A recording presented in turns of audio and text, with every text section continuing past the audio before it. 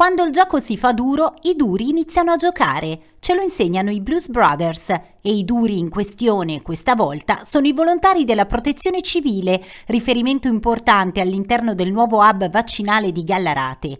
Un centinaio gli uomini che si sono dati da fare in questi mesi e che continuano a farlo, da oggi anche offrendo assistenza all'interno del capannone destinato alle vaccinazioni, dove sono operative 30 linee.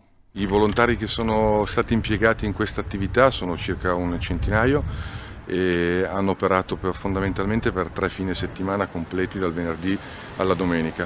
Supporto sicuramente dei volontari della protezione civile della provincia di Varese, attivati dal settore provinciale eh, di, di, Varese chiaramente, eh, abbiamo coinvolto come doveroso eh, dire anche il Parco del Ticino perché è stato un supporto fondamentale anche quello del Parco del Ticino con volontari e mezzi. Dopo eh, l'inizio delle attività eh, vaccinali con le poche linee che eh, c'erano attive il giorno dell'inaugurazione, con oggi è iniziato anche il supporto della protezione civile provinciale con 5 volontari per turno dalle 8 della mattina alle 14 e dalle 14 alle 20 7 giorni su 7.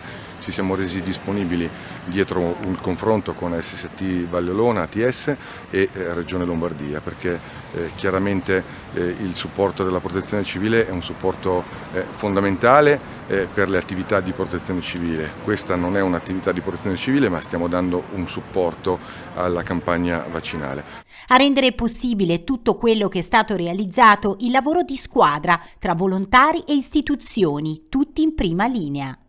È un eh, supporto ai volontari di ATS e di ASST nel caso di qualunque necessità um, in termini di emergenza o piuttosto che eh, di non ordinarietà um, che può essere gestita dal personale di ATS.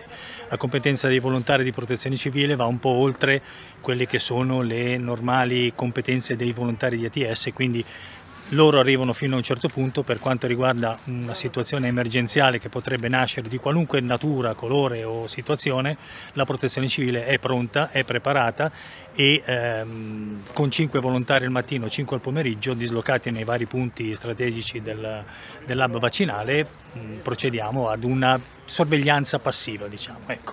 Abbiamo lavorato veramente in sinergia con parecchie associazioni, devo dire che il risultato che si è ottenuto anche in brevissimo tempo è, è, importante, è fondamentale ed è visibile a, a tutti noi. Come eh, ben si vede e sanno tutti, nel momento in cui veniamo chiamati noi ci siamo presenti e partecipiamo volentieri per costruire insieme ad altri quello che serve per il nostro territorio. Volevo sottolineare il grande lavoro che è stato fatto dal volontariato di protezione civile e per volontariato intendo il sistema provinciale di protezione civile di cui noi come ingegneri facciamo parte. Eh, voglio sottolineare che è stato molto interessante lavorare fianco a fianco con i militari, con i ingegneri del secondo Pontieri e vedere i volontari ingegneri con i ingegneri dell'esercito lavorare insieme questa è stata una delle cose più belle perché finalmente abbiamo visto il sistema all'opera e se non facciamo sistema non possiamo arrivare da nessuna parte.